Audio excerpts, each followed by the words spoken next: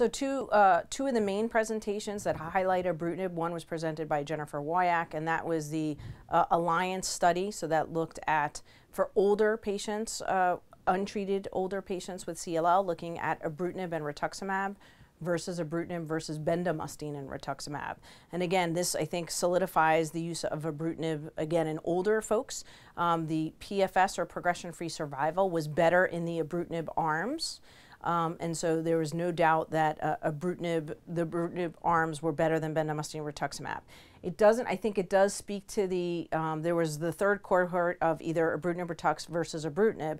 I think the addition of rituximab did not enhance ibrutinib alone as monotherapy. So when folks ask the question, uh, does a monoclonal antibody need to be combined with ibrutinib, I think we have fair amount of data now that says maybe rituximab or another antibody doesn't add all that much to ibrutinib, which may be different with venetoclax per se.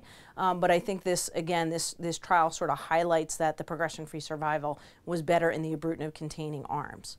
Uh, the next uh, larger, uh, uh looking at the untreated but fit population, so this is a, a sort of similar to the Jennifer Woyach study. This was the ECOG study um, that will be actually presented tomorrow uh, by Tait Shanafelt, and this looked at fludarabine, cyclophosphamide, rituximab, or FCR versus ibrutinib, rituximab. And again, another, uh, for younger fit patients, another example of ibrutinib, finally that question of is chemoimmunotherapy better or not than ibrutinib, and here ibrutinib rituximab again won out over the FCR arm, including increase in overall survival. So both progression-free survival and overall survival were better with ibrutinib than FCR. With that exception, of the mutated IGVH folks. So it obviously was better for patients with high risk features and patients who were unmutated, but the survival was not necessarily better in the patients who are mutated. So that question of can you still use chemoimmunotherapy or FCR in mutated IGVH folks, I think is still reasonable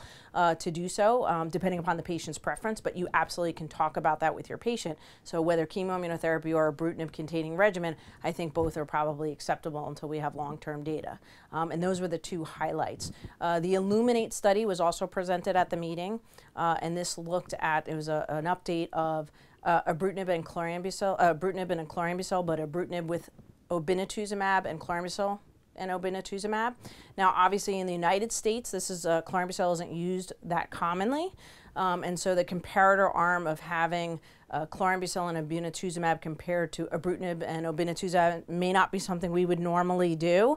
Uh, clearly, the trial favored the ibrutinib arm again, highlighting ibrutinib over chlorambucil or you know chemo chemoimmunotherapy. Um, so th that was also a significant finding. But again, the comparator arm lacks a little bit of an interest for for some of us. Uh, but certainly, uh, just again solidifies and highlights that an ibrutinib containing regimen is, is better than a chemoimmunotherapy containing regimen.